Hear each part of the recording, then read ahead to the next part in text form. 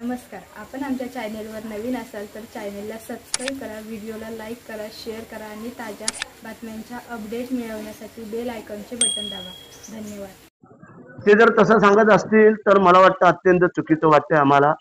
कारण आता आपण एवढं थांबलो आणि ह्या वर्षापुरतं जर थांबलं तर काय अडचण येणार नाही. दहीहंडी ही दरवर्षी येणारा सण आहे आपला.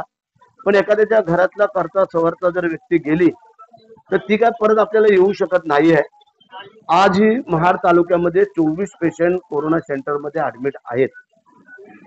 हे डोळ्यासमोर ठेवून मला असं वाटतंय मनसे असो नाही तर आणि कोण असो त्यांना विनंती राहील आमची की आपण मंडळीने ह्या वर्षापर्यंत थांबावं.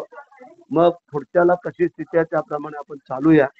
परंतु आणखीन तिसऱ्या लाटेला निमंत्रण न देण्यासाठी ही आमची विनंती राहते की तुम्ही घाई गडबड करू नका.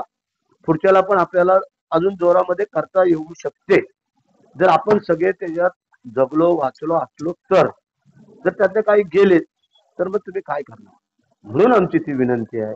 आम्ही वेगळं काय सांगतो काय असातला भाग नाही आहे आणि सगळ्या आता ठाण्याच्या सांस्कृतिक दहांडेवाले दुसरे दोन तीन दहांडे मोठ्या दहांडेवाल्या जितेंद्र आव्हाडांची दहांडे आहे प्रताप सरनायकांची दहांडे आहे त्यानंतर ठाण्यातल्या अनेक काही मोठ्या जांभळी नाक्यावरती दहीहंडी आहे. त्या सगळ्यांनी थांबवलं ना. काय अडचण नाही त्यांना. ते बोलले थांबू आम्ही. पुढच्याला बघू आपण. पण कोरोना जायला पाहिजे. आणि कोरोना जाण्यासाठी यांनी प्रयत्न करावे आम्ही संपूर्ण सहकार्य करू. त्यामध्ये कुठेही अडथळा आणणार नाहीये. परंतु दहंडी बोलल्यानंतर मग तो अडचणीची बाब आम्हाला वाटते. कारण आपल्याला माहिती आहे एकाला एक सगळे आपले डोके एकमेकाला टेकवावे लागतात एकमेकाच्या खांद्यावर हात ठेवावे लागतात आणि तो मनोरा रचायला लागतो. त्यासाठी विनंती. जय हिंद.